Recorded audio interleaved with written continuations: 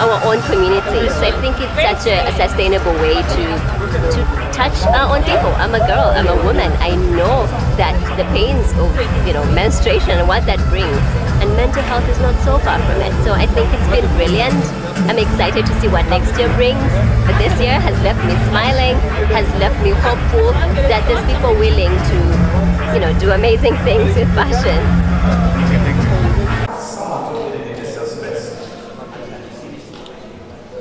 Good report fundraising for me. Like oh, Germany we sat down. So like if we have some paintings there and a bathroom there, there's a safe space there where we, where we can talk to someone individually. And that's how the menstrual station happened. So it's just a crazy free space where the different skills, painting, screen printing, sewing, making reusable parts, English, language, uh, Somali community which is same users it are going to learn English for free, and menstrual talks, and now I think the addition is one of the designers has offered to be a short course in fashion design for eight months, uh, so that's the station. Thank you. Now I'll give you my stage. Thank I you. hope- I hope you had a little bit. You paid to be part of the show, and maybe because you're interested in fashion, or sexual reproductive health, or girls, or you were just really passing by and had a class. But I'm excited that you're here. And uh, the crew back there is our video ready. I hope that you know that your ticket that you have bought, Farid it is a bit too humble to talk about how this is mostly scraping to make this happen. And with such limited funding, there's an amazing station. And it's until last year that I realized that I'm so privileged that every month I don't think about tampons and, and you know, you walk to the store and you get those. Uh, and when you want to do a donation, you go to the north and do a donation because you know maybe it's needed up north. But Kisenyi, right next door, when I'm Namuwongo, right next door to my heart, could be a place that I could actually, you know, be relevant. Um, so this this menstrual, station in really inspires me, and the goal is to replicate this. If you are moderator, Fiona Naigwe, whose goal is to really tell your story through fashion. And in case you're really impressed with my dress, she made that too. The theme for her collection is outside way,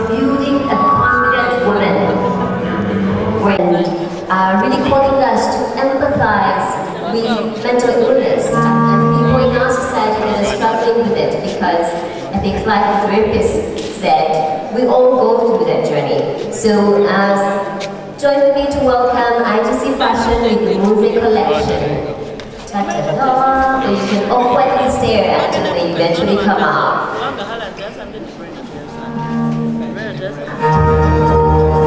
Jola expression. Hope you're ready now. And if you are not, we'll silently wait for them to come because I don't have any other brilliant ideas to entertain you, but it's our final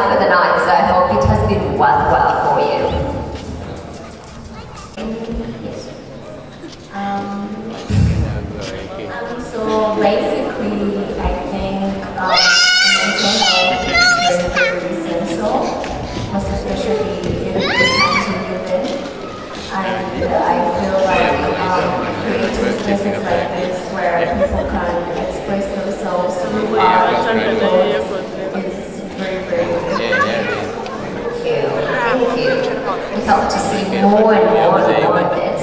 Um, yeah, and I'm really buying that time. I wish I could sing, but I can't sing. Um, in terms of what exists, what can we do differently? Um, I think the main thing we can do is just to be more open and to talk, to find people in your life that you trust and be open when you're having difficult periods. I think that makes a, a very big difference. Talking. I like that we say talking, but I really realize that it's so difficult to talk.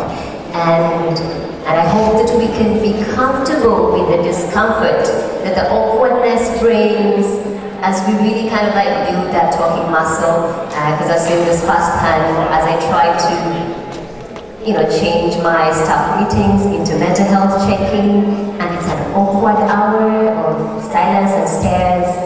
Um, yeah, so I'm really curious from your context, what do you feel like is missing in the mental health space? I think um, not only encouraging vulnerability, but also modeling that and allowing space for people to see that in you and to be comfortable and um, talking about those things um, with you. You. Vulnerability. Anyone care to kind of unload what vulnerability means? It's really so much to be standing here and no one raises their hand. So you could just like save me my social anxiety and see what thinking. I think that's being unable to do some things on your own. So that kind of makes you vulnerable. Anyone else have a different opinion on what vulnerability means and what it means to really bring that into our spaces? Um, somebody like really rescue me. Um, um, yeah, gosh, so many kind people. I was still thinking about it. Exactly. So I think I define vulnerability as deliberately putting yourself out there, not knowing if you're going to be safe or not. But hopefully you will be in a safe space. So that's what I think. Deliberately putting yourself out there, um, whether accepted or not. And how many women uh, have felt like being vulnerable is attached to your gender because you know women are feeling in their emotions and that has thirty-one, you want to